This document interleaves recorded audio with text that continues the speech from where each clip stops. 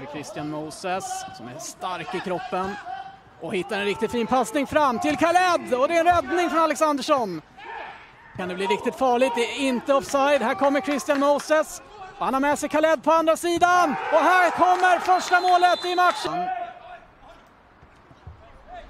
Skottläge och bollen tar fram och här kommer ett mål. Är det offside? Det är inte offside. Kviding tar ledningen. Målet här alldeles nyss. Men här kommer han fram på högerkanten. Skickar in den i boxen till Christian Moses och där har vi i alla fall ett mål för Linköping. Fin eh, boll över till Tornblad. Vad kan han hitta på? Hittar in i mitten till! Ja, visst är det mål, men det måste nästan vara offside. Det är ju det.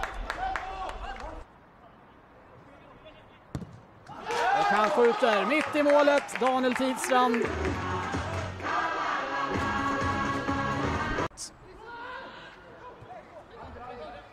Tidstrand med ett avslut i ribban. Och vart är returen någonstans? Isak Skog är där. Men han får ju inte träff.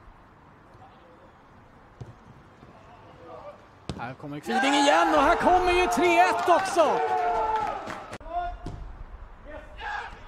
Alexandersson rör i situationen, är på mållinjen. Men